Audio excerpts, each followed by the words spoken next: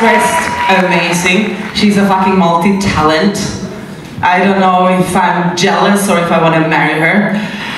And I have been wanting her to be on our stage since we started, and I finally got her to come here and tell you some stories. And I want you to give a big fucking applause to Ezra!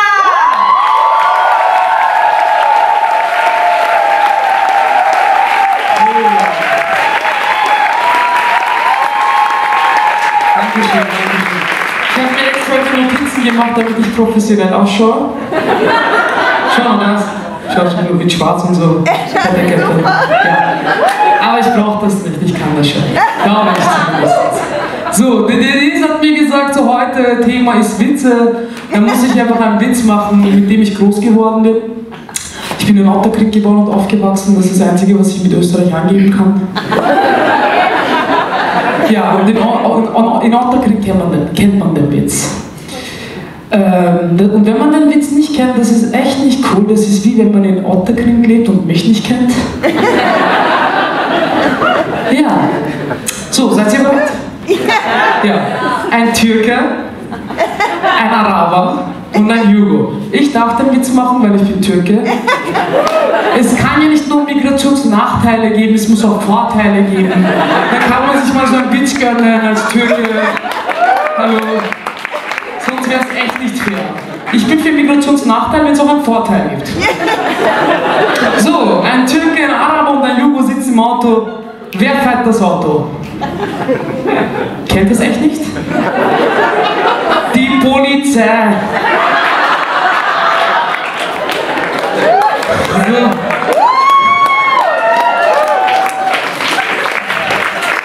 Ich werde ja uroft gefragt, du Esra, man weiß ja nicht, kann man eigentlich Witze über die Türken machen? Leute, sicher kann man Witze über die Türken machen. Die Sache ist nur, ob man nachher Zeit hat, die Pointe zu klären. Das läuft bei uns sehr schnell. Und ich gebe euch ein bisschen Code, also ein bisschen Tipps, wenn man Türkenwitze macht, wie man es machen sollte. Zuerst musst du gleich klären am Anfang, hey Bro, das ist ein Witz. Ich schwöre auf alles, ich schwöre auf Döner, es ist ein Witz.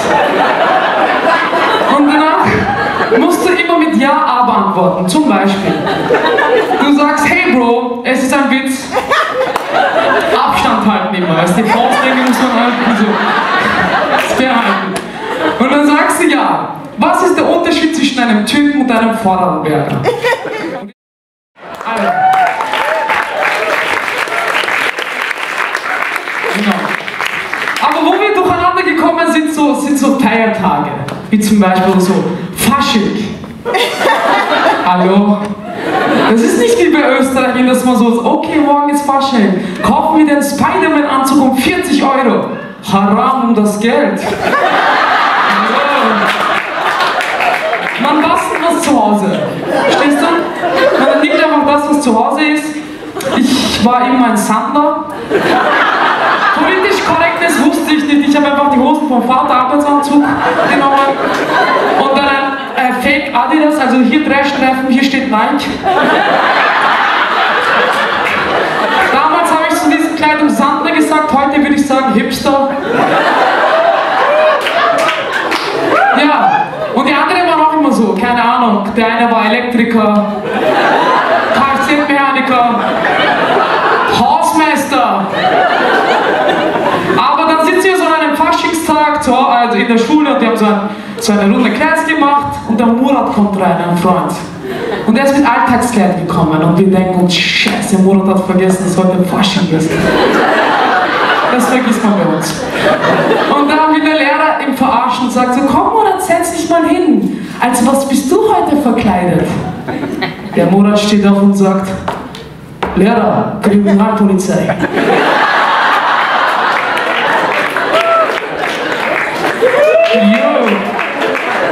Ja, also wir Türken, also wir Migranten sind sehr kreativ, aber am kreativsten finde ich meinen Vater.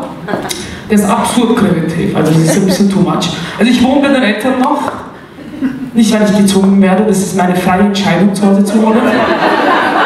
Es ist echt lustig zu Hause, weil wir haben zum Beispiel, sind, äh, seit 15 äh, Jahren wohnen wir in einem Gemeindebau und am Anfang haben wir das voll österreichisch gemacht, jeder hat einen Schlüssel bekommen und klappte uns nicht.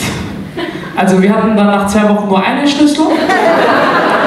Und dann haben wir, dann muss man kreativ sein. Dann macht man so, mein Vater geht von der Wohnung raus, gibt es hinter dem Müll und versteckt es und ich hole es dann ab. Das haben wir so jahrelang gemacht, bis er den Schlüssel verloren hat. Dann ruft man nicht den Schlosser, 200 Euro. Und dann haben wir gelernt, die Türwohnung mit einer Karte zu öffnen. Und dann haben wir alle Karten bekommen, aber das ist, es sind besondere Karten, es sind so, so Bilderkarte, Fieberkarte, Kreditkarte, Bankomatkarte, kannst nicht mit jeder Karte das öffnen. Das geht nicht.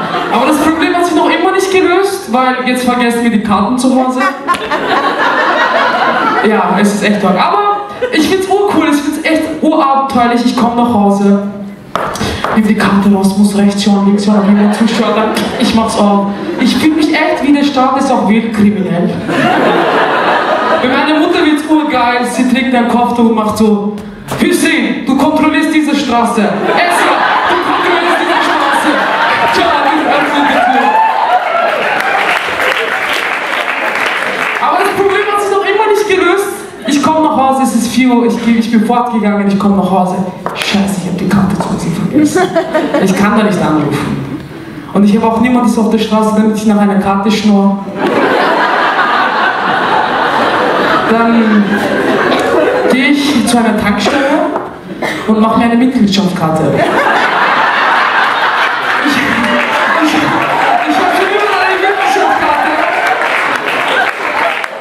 Jo, was war das nächste Thema? Entschuldigung. Genau.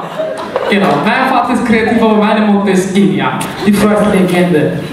Unser, also, ich muss ein bisschen erzählen, wie sie tickt. Sie ist entweder nur am Weinen oder lachen. Also Mitte habe ich noch mit ihr noch nie erlebt. Also wir haben noch nie zum Beispiel so ein Gespräch gehabt, wie geht's dir? Gut, Mama, ich war da, aha, super, das gibt's nicht. Sie steht in der Früh auf und beginnt zu weinen, du hilfst mir nicht. Und dann schießt sie solche Sprichwörter. Ich war damals fünf und sie sagt zu mir, ich habe für dich meine Haare staub. Ich denke, was soll ich darunter verstehen? Ich bin fünf Jahre alt. Na wirklich jetzt. Und dann versöhnen wir uns. Ich gehe in die Uni und dann ruft sie mich am Weg an und sagt so, Esra, lass uns versöhnen. Was machst du? Ich sage so, Mama, ich gehe in die Schule. Und dann beginnt sie zu weinen. Warum bist du so alt geworden, dass du in die Uni gehst? Esra! Esra! Und dann komme ich nach Hause, wieder in Streit, weil ich keine schießt sie wieder noch ein Sprichwort. Wirklich, sie sagt mir die ganze Zeit, mein Milch soll für dich haram sein. Sie hat mir Muttermilch gegeben, das will sie mir nicht gönnen. Weil ich habe dreieinhalb Jahre Muttermilch getrunken. Das, das packt sie nicht. So, jedes Mal. Mein Milch haram für dich. Wenn dein Milch haram ist, was ist halal? Ich, ich komme auch aus dem Konzept.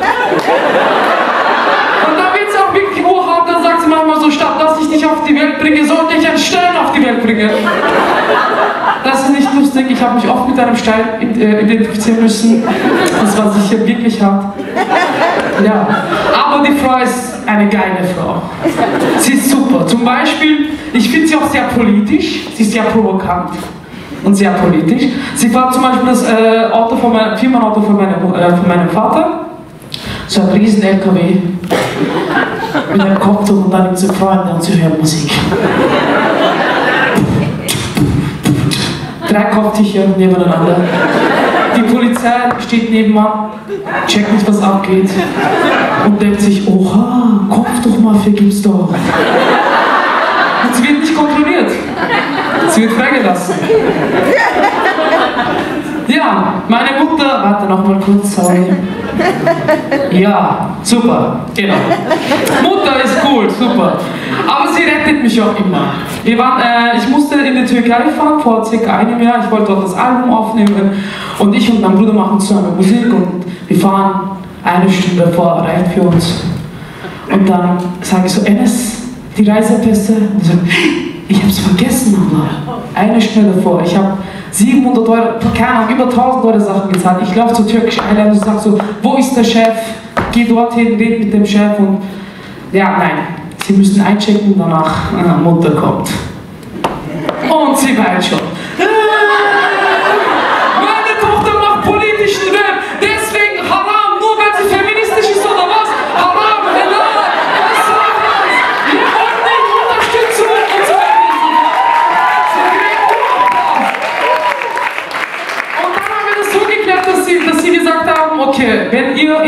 ihr Stunde da seid, bekommt ihr die, äh, äh, könnt ihr mitfliegen. Und ich habe Enes gesagt, meinem Bruder, du fährst jetzt Scheiß auf die Polizei, du bringst es in einer halben Stunde hierher.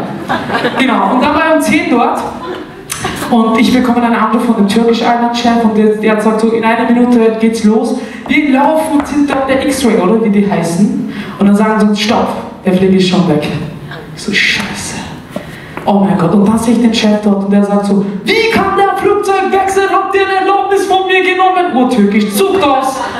Und dann, ja, keine Kontrolle. Hadi Jungs, hadi Mädels, wir gehen. Und dann gehen wir, das war wohl die geile Szene, ihr kennt ja diese Brücke.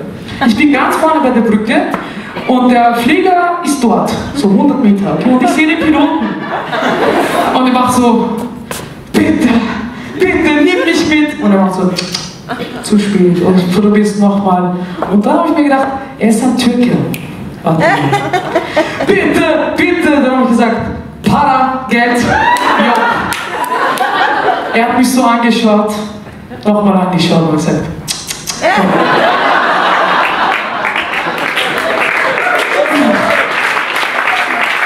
Was auch so für meine Mama so äh, komisch ist, ist ihr Traum verstehe ich gar nicht. Ich war damals 17 Jahre und ich habe begonnen zu rauchen.